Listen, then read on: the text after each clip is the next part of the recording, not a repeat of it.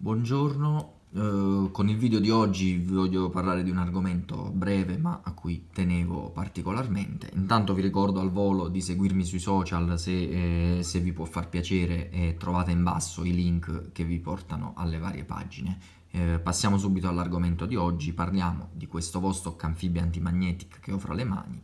Uh, io non amo precisamente i Vostok uh, nella mia collezione, Uh, preferisco più altri, uh, altre case produttrici russe, però nonostante questo ho anche io i miei Vostok preferiti e comunque quando ne trovo qualcuno interessante uh, mi piace comunque averlo e inserirlo in collezione. Qualche tempo fa in un mercatino ho potuto prendere questo Vostok Antimagnetic quindi si tratta di un Vostok di produzione sovietica, c'è scritto CCCP in basso come potete vedere, e eh, ha un movimento manuale molto semplice, non ha neanche la data, e il quadrante ha questo colore virato, eh, gli indici sono applicati e si possono vedere segni di viraggio e usura anche sulle lancette e sulla cassa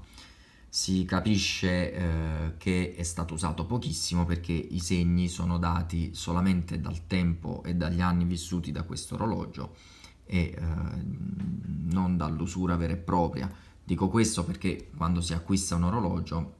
si deve essere in grado anche di valutare il grado di usura, quindi valutare se l'orologio è virato, che è una cosa normalissima, oppure se è stato proprio usato, cioè indossato per uh, un periodo, per anni magari, da qualcuno. Uh, vi assicuro che un orologio, mi è caduto questo perché l'ho smontato, adesso ne parleremo, vi assicuro che un orologio virato, cioè un orologio usato, non avrebbe la cassa in queste condizioni, che eh, sono praticamente come nuovo. Uh, tutti questi elementi servono per, eh, non per denigrare insomma, un orologio usato, ma semplicemente per dargli un giusto prezzo eventualmente. Eh, tutto ciò vi serve anche a valutare l'originalità e la coevità di un orologio, perché io qui ad esempio ci vedrei con sospetto delle lancette nuove, quindi magari pagherei di più eh, questo orologio rispetto a uno non coerente.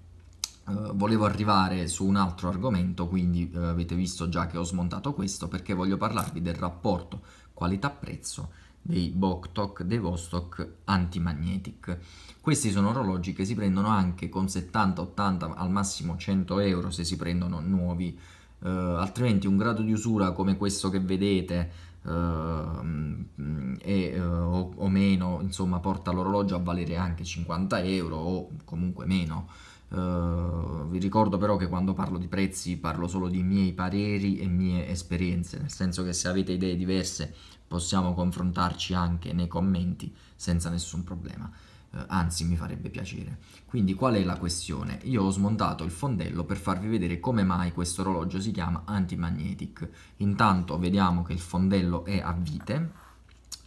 Uh, e uh, questo è già un sinonimo di qualità per la Vostok che uh, ha usato sempre quasi questi fondelli e questa tipologia di chiusura più che altro. E, ehm, inoltre ci sta questa guarnizione che nonostante il tempo passato sembra essere davvero in condizioni ottime. Una volta tolto il, il fondello troviamo questa piastra Uh, questa piastrina metallica quindi serve a proteggere il movimento da che cosa? L'orologio quindi si chiama antimagnetic perché serve a proteggere quindi il movimento uh, dalla presenza di campi magnetici. Quindi uh, questa piastrina assicura un funzionamento ottimale anche in presenza di campi magnetici che potrebbero andare ad influenzare ehm, il funzionamento stesso dell'orologio perché ricordiamo che comunque il movimento è fatto anche da parti metalliche cioè, sopra, cioè tutte parti metalliche, per cui eh, potrebbe comportarsi un po' come una bussola ad un certo punto se a, se a lungo contatto con campi magnetici.